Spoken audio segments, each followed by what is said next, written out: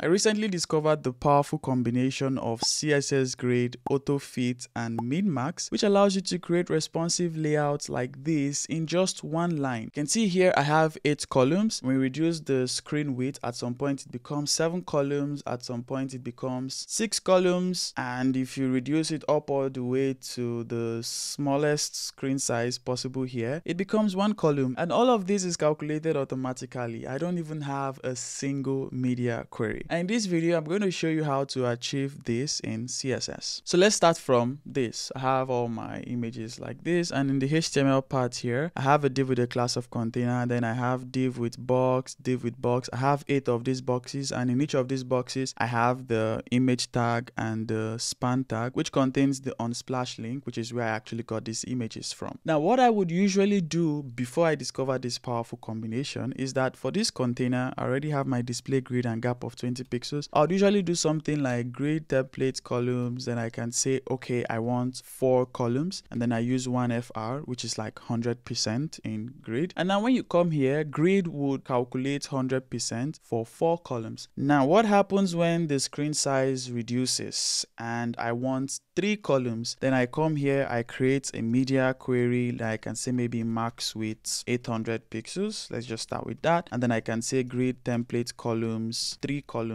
Oops, sorry. I thought I was in SCSS. Yeah, I need to put my container like this. When this becomes a maximum width of 800 pixels, it now becomes three columns. And what I would even usually do is use custom properties. So I would say columns like this, and I give it four. And then for this place, I can repeat it with var and my custom columns property. And then over here, I can simply just change the columns property to three, which does the same thing. Well, now the problem is, what if I want two columns columns. Then I have to create another media query and then specify two columns, create another media query and then specify one column. And that's a lot of work. Well, this is where this powerful combination comes in. So now I can take this media query because I don't need it anymore. I can take this custom property. I don't need it anymore. Now for my grid template columns, what I'm going to do is repeat and then I use auto fit. There is actually auto fill, which is a bit different from auto fit. And I'll explain the difference in another video. And then I can say each of the columns should have 300 pixels. Now if I take this back like this, this is what happens. The columns will be calculated automatically based on what can fit 300 pixels. So in this case, we have four columns and if you extend and you extend to a particular point, you now have five columns because you can have 300 pixels of columns five times. If you reduce this, you have two columns, you have one column. The number of columns here is calculated automatically. But another problem here is you now have this blank space on the right here. Because only one column can fit this space at a time this place is empty until when a second column can be created. And now we can fix this by introducing min max. So here i can say min max and you specify the minimum and maximum value. So i can say i want my minimum to be 300 pixels. Each of the columns should not be less than 300 pixels. And then i can specify my max as 1fr now what will happen is that the number of columns will be calculated automatically but then that space on the right would also be filled. So as it is like this, each of these columns are one FR. So they fill the screen or they fill the container. Now, if I extend and extend, it's still one FR. You can see the cards extending. And when it gets to this point, the grid is like, hey, I can introduce one more column, which would fit 300 pixels for each columns. And now we have four columns. And then we have one FR and one FR. And then we get to this point where the grid is like, oh, I can add even one more column. And if we are also reducing this like this, the grid is like, okay, I can only take in three columns with a minimum of 300 pixels and a maximum of 1 FR. And even when you get to the smallest here, the grid is like, okay, now I can only fit one column, which has 300 pixels as the minimum. And you can see now we have this very simple, straightforward layout. And you can see how all of these things are increasing and reducing width and the columns automatically calculated. You can see here, it's also one line. I don't have any media